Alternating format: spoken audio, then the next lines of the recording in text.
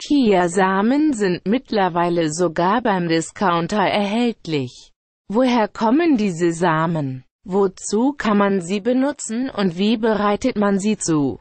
Welche Effekte haben sie auf die Gesundheit und welche Rezeptideen gibt es? Probiere es aus und informiere dich in diesem Artikel. Schon die Azteken im heutigen Mexiko, Guatemala und Belize haben es gewusst, in den Samen der Chia-Pflanze steckt viel Gutes.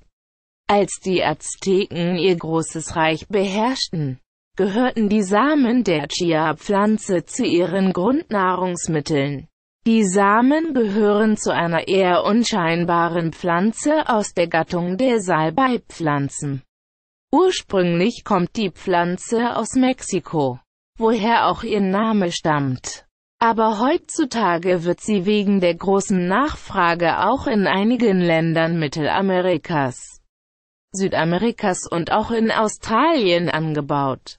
Die Samen sind so wertvoll, weil sie überdurchschnittlich reich an Omega-3-Fettsäuren, Antioxidantien, Proteinen, Ballaststoffen, Vitaminen und Mineralstoffen sind. Chiasamen haben einen hohen Nährwert und sind reich an sekundären Pflanzenstoffen. Daher werden sie auch zu den sogenannten Superfoods gezählt.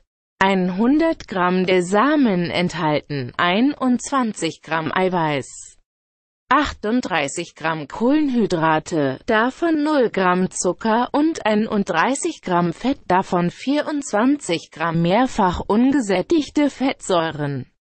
Mehrfach ungesättigte Fettsäuren kann der Körper nicht selbst herstellen.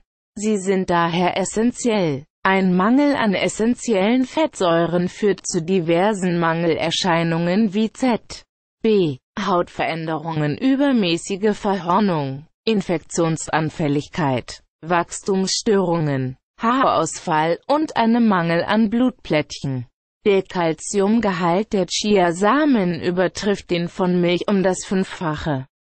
Außerdem enthalten die Samen zehnmal mehr Omega-3 als Lachs, viermal mehr Eisen als Spinat, 15 mal mehr Magnesium als Brokkoli und viermal mehr Ballaststoffe als Leinsamen. Überzeugt? Dann lies weiter, wie du Chia für dich nutzen kannst. Es ist ganz einfach, Chia zuzubereiten und in deinen Alltag einzubauen. Zuerst das Wichtigste, Chiasamen solltest du immer roh essen. Also niemals erhitzen, da sonst viele der wertvollen Inhaltsstoffe durch die Hitze zerstört werden würden. Außerdem quellen die Samen auf und binden sehr viel Wasser. Hast du also Chiasamen gegessen, musst du auch dazu viel trinken, um den Samen Flüssigkeit zum Quellen zu geben. Es wird empfohlen, pro Tag ungefähr 15 Gramm Chiasamen zu essen. Das ist nicht viel, etwa ein bis zwei Esslöffel. Wiege es dir zu Hause einmal ab. Dann kennst du die Menge, die du brauchst. Ein Grundrezept ist das Chia Gel. Damit hast du immer vorgequollene Samen bereit, um damit Smoothies oder andere Rezepte schnell aufzupeppen. Dazu werden die Samen im Verhältnis 1 zu 6 mit Flüssigkeit verrührt. Zum Beispiel Milcharten oder Wasser. Nach etwa zwei Stunden ist alles zu einer Art Gelmasse aufgequollen und hält sich im Kühlschrank mehrere Tage frisch. Eigentlich hast du damit auch schon deinen ersten Chia-Nachtisch zubereitet. Verwende Milch als Flüssigkeit und süße mit Honig oder anderen Süßungsmitteln.